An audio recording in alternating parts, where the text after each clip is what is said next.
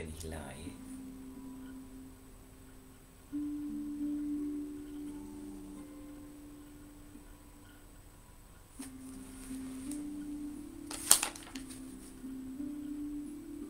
Jetzt, jetzt bin ich live. Sorry, wenn ich schon vorher live gewesen bin, aber das kann ich immer nicht sehen. Äh, Jetzt halt äh, kann ich das nur sehen, weil dort steht äh, beendetes Live. also, diese Geschichte ist ähm, angefangen in meinem Leben in 2006. Ich war auf einer Geschäftsreise in Moskau und ich hatte ziemlich viel zu tun in diesen Tagen, aber abends hatte ich immer Zeit. Und äh, ich habe im Hotelzimmer angefangen zu schreiben. Ich hatte meinen Laptop mit mir, da war nie was im Fernsehen. Und äh, ich fing an Bliss After Life äh, in Englisch. Äh, und das wurde in Deutsch, ähm, wer es glaubt, wird selig. Bliss starb mit 95 nach ihrer großen Geburtstagsparty. Das ist aber jetzt schon über zwei Jahre her.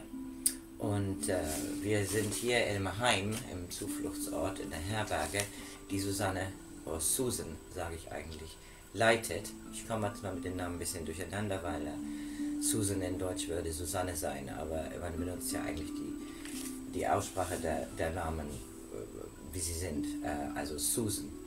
So, dieses Chapter ist 24 und es ist Chris, das ist Hollys äh, Ehemann, und Susan, seine Schwägerin, die sind am Aufräumen.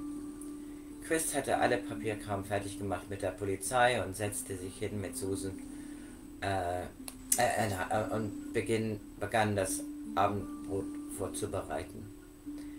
Heute Abend wird ein Familienessen gemacht, oder sagen wir mal von der gewählten, der Wahlfamilie, mit allen ein, Einsässigen oder alle, die in der Herberge im Moment sind. Und eigentlich wi- wissen sie, dass es eine traurige, ähm, ein trauriges Essen werden wird, weil Natalie nicht mehr da ist. Die haben sich alle ein bisschen Sorgen gemacht. Sogar die Kinder hatten versucht, sie aufzuheitern. Im Generellen war die Atmosphäre hier immer sehr schön.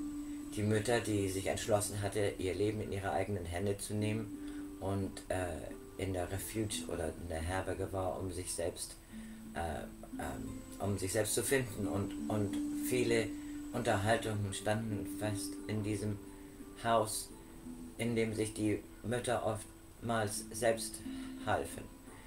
Äh, keine, die dort war, hatte ein einfaches Leben. In vielen Fällen war deren Familiengeschichte ähnlich. Verbrochene Zuhauses, zu oft eine frühe Schwangerschaft und dann manchmal verheiratet oder zusammen sind mit einem Mann, der sehr wenig in, emotionelle Intelligenz hat. Oft kamen die Männer selber von verbrochenen Hausen oder äh, kaputten Haus, Hau- Häusern und hatten keine Ahnung, wie man harmonisch leben kann. Oft war es der Drink, also der Alkohol, der sie gewaltsam gemacht hat. Der, der Drink, der helfen soll, deren miserables Gefühl zu verscheuchen, aber es bringt oftmals mehr Probleme für alle anderen.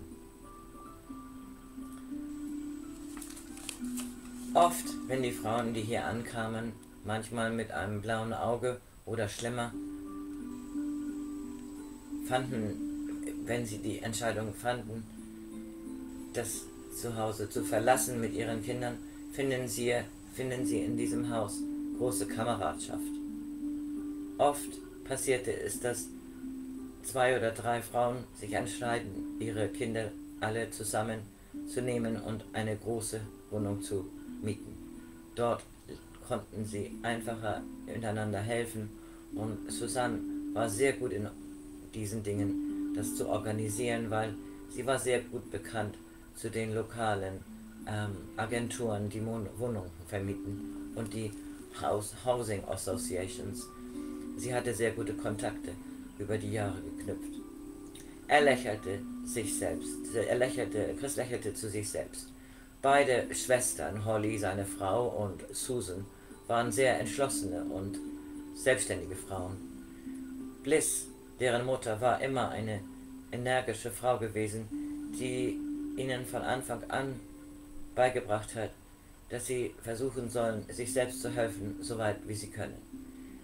Sie hat ihnen auch von Anfang an gelehrt, dass ohne Verständnis und Fürsorge wird das Leben ein Kampf werden. Und sie war, Bliss war immer der Meinung, dass man das Leben so positiv wie möglich ansehen sollte. Sie hat einen guten Job gemacht, dachte Chris. Er hatte gerade erkannt, erkannt wie, wer, wie sehr er seine Schwiegermutter eigentlich vermisste. Das war ein Witz in sich selbst, weil oft Witze gemacht werden über die Schwiegermutter und wie oft schwierig diese Beziehungen sind. Und er sagte, er musste denken, dass manchmal konnte Bliss etwas schwierig sein. Sie war total ungeduldig und oftmals zu pushy. Aber sie war immer schnell ähm, dabei, sich zu entschuldigen. Und sie war, es war schwer, mit ihr über lange Zeit böse zu sein. Er hatte plötzlich festgestellt, dass er hier in Gedanken die ganzen fünf Pfund Kartoffeln geschält hat. Ach, sagte er, das macht nichts. Die Kinder können nie genug Mashed Potatoes, also Muskartoffeln bekommen. Susanne nahm die große Kasserolle, Kasserolle aus dem Ofen. Noch circa 30 Minuten und dann sind wir fertig. Lass man die Kartoffeln erstmal kochen und wir fragen die Kinder, dass sie den Tisch legen sollen. Warum siehst du so happy aus? Chris. Er sagte, ich dachte gerade an Bliss. Ich frage mich, ob sie Natalie begegnen würde. Das ist doch ein guter Gedanke, oder nicht? Susan sagte, ja, lass das mal, lass uns das mal heute Abend besprechen. Das sagen wir. Na, die Kinder kannten Einige von den Kindern kannten Bliss und die Mütter hatten sie auch zeitweilig gesehen. Die lieben diese Idee. So, lass uns kommen und das fertig machen hier. Ich vermisse meine Mutter sehr. Ich habe es immer genossen, mit ihr über das Leben und den Tod zu sprechen. Umso älter sie wurde, umso mehr hat sie davon geredet, was auf der anderen Seite los ist. Sie, sie wollte keine Angst haben vor dem Tod. Und obwohl ich sie vermisse, bin ich sehr froh, dass sie es bis 95 geschafft hat. Ich glaube, mehr zu erwarten ist fast ein bisschen gierig. Ich kenne keine andere Tochter, die ihre Mutter immer noch mit 60 in den 60er Jahren hat. Ich vermisse ihre alten, weisen Worte. Und ich vermisse ihr Lachen. Naja, jedenfalls, Chris, komm, lass uns weitermachen. Glaubst du, Holly kommt heute Abend? Hast du ihr über Natalie erzählt? Ja, ich habe ihr getextet und sie hat gesagt, dass sie bestimmt versucht, früher fertig zu werden und sie will hierher kommen, zum Essen. Ich hatte ihr von Natalie erzählt und ich glaube, sie würde gerne hier sein. Oh, das ist toll. Ich freue mich auf sie. Ich habe sie über eine Woche nicht gesehen. Lass uns mal sehen, wo jeder ist hier. Und lass allen sagen, wir essen so um acht. Hey, ich höre die Tür. Holly. Ja, Hallo, Susan, hallo, mein lieber Mann. Holly, das ist toll, dass du hier bist. Sie machten weiter, das Essen fertig zu bekommen. Kapitel 25 Das große Familienessen. Holly freute sich, dass sie es so rechtzeitig hierher geschafft hat. Sie umarmten sich. Selbstmord, ha? Die arme Natalie. Sie hätte nicht in einem besseren Platz als hierher gelangen können. Polly goss, goss sich eine Tasse Kaffee ein und setzte sich. Ja, sagte Susanne, ich glaube, sie hätte vielleicht ein bisschen mehr probieren können, aber sie war so traurig und diese dunkle Wolke hing um ihren Schultern. Ich glaube, sie war absolut entschlossen. Ja, ich gebe das auch zu. Wir können viel versuchen, viele Dinge, zu finden, wie wir sie vielleicht hätten verhindern können. Aber das ist nicht, was sie gewollt hatte. Und lass uns hier nicht überdepressiv werden. Susanne ging in, die, in den Flur, um die anderen zu rufen, dass das Essen fertig wäre. Lass uns dieses Dinner als Remembrance, als Erinnerung für sie machen, sagte Chris. Er hatte immer einen guten Sinn von Gelegenheiten oder Occasions. Rosie kam die Treppe runter mit Oliver auf ihrem Arm und die anderen vier Kinder hinter ihr. Mark und Philipp beide springen beide die Treppe runter und stritten sich, wie immer. Mark hatte, hat sich total erholt von seiner Kopf, ähm, äh, von seinem, von seinem ähm, Injury, äh, von seinem Unfall mit seinem Kopf. Und Rosie hatte einen ganzen Familienbadroutine gemacht, wo jeder von ihrer Familie geschrubbt wird.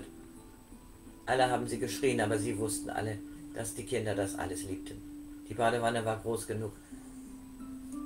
Isabelle, Isabelle kam auf die Treppe runter mit Alice, Mark und Geraldine. Sinead und ihre drei Kinder kamen hinterher. Und dann kam Dilly mit ihrem Sohn Winston. Sophia und ihr Sohn waren aus.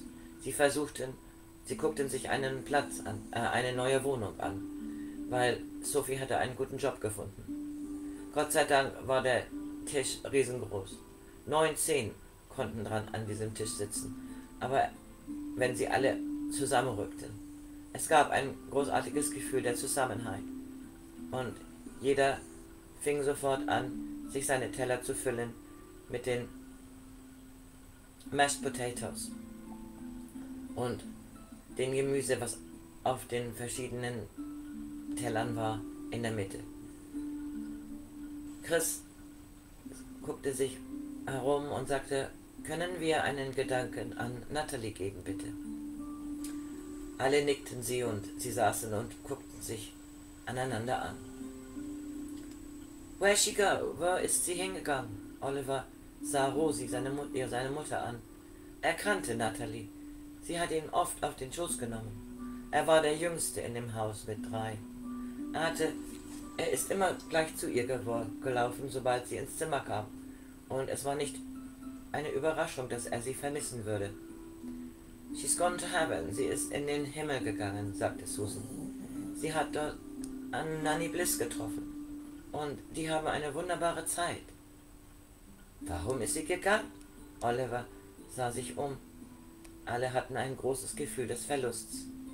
Das wissen wir nicht richtig, Darling. Holly streichelte sein Haar. Sie saß nächst, nächst zu ihm. Und es machte sie traurig zu wissen, wie vermisst Natalie ist. Und dass sie sich entschlossen hat, aus dem Leben auszusteigen. Alles, was wir wissen, Oliver, ist, dass es ihr sehr, sehr gut geht. Und sie ist in einem happy place. Like the New Forest, wie der New Forest? fragte Oliver. Er hatte ein langes, unvergessliches Wochenende im New Forest verbracht, vor nicht langer Zeit, und die ganze Erfahrung repräsentierte Himmel für ihn. Ja, wie im New Forest, sagte seine Mutter, und alle lachten. Das erleichterte die Atmosphäre und alle fingen an zu essen und sprachen zur gleichen Zeit. Hat irgendeiner von Sophia gehört? Hat sie etwas gefunden? Wohnungsmäßig meine ich. Chris sah Susan an. Ja, ich glaube, sie hat eine Wohnung gefunden. Nicht so furchtbar weit von hier. Sie hatte erwähnt, dass dort auch genug Platz ist. Für Dilly und Winston, wenn sie die Wohnung teilen wollen. Hast du mit ihr gesprochen, Dilly? Ja, sie hörte sich so aufgeregt an. Ich gehe mit ihr morgen und sehe sie mir an. Das wäre so schön, wenn wir diesen Platz uns teilen könnten. Es würde unser Leben so viel einfacher machen, wenn wir uns die Miete teilen können. Und auch auf die Kinder aufzupassen. Sie sah Winston an. Er versuchte ganz cool darüber zu sein, aber sie konnte sehen, er würde nichts besser gefallen, als einen permanenten Freund um sich herum zu haben. Jeder hoffte, dass es so passieren würde. Und fangen an zu essen und zu lachen. So, das ist Kapitel 25 gewesen. Und jetzt kommt Kapitel 26, wenn ich Zeit habe. Heute ist Sonntag und äh, ich habe gestern keine Zeit gehabt. I hope you have a lovely Sunday. Ich wünsche einen guten Sonntag. Bye.